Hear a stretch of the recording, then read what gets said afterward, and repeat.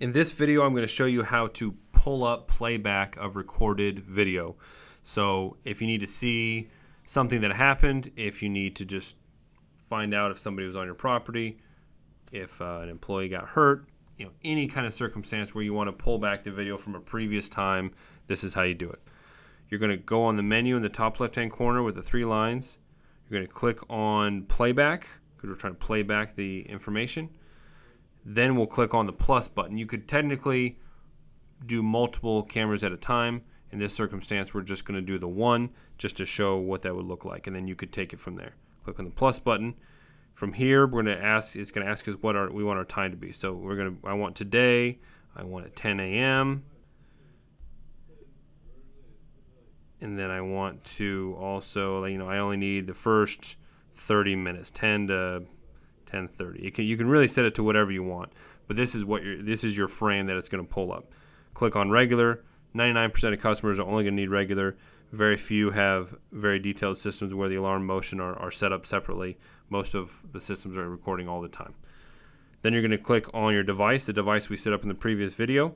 You're going to find all your different cameras. Most of the time, yours will be named. Ours are camera just camera names with numbers because ours are uh, we have a big system here.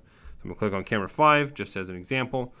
Now what it's going to do is going to pull open that one camera. If I double click on it, I can see it's got 10 a.m., shows the date, shows everything going on.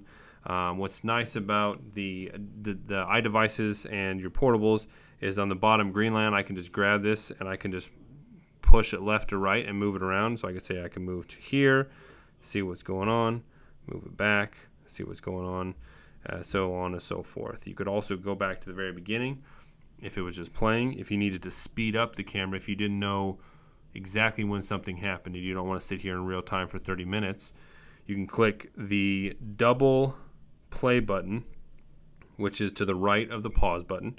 If I click that, I clicked it once, it went two times. I clicked it twice, it went four times. I click it again, it goes eight times. So you can see it's going to speed things up uh, to eight times real real time. That way, saves you time in trying to find the exact timestamp of what happened. If on the flip happens, you want to slow it down, you want to see something else on the other other end. To the left of the of the pause button is is an is a slow down play button. So as I click on that, uh, I'm going I went down to four times and two times. Now I'm at half speed. Now I'm at quarter speed. Now I'm at eighth speed. So there's nothing on the on the feed right now. But if there was, let's, let's go to, let's speed it back up.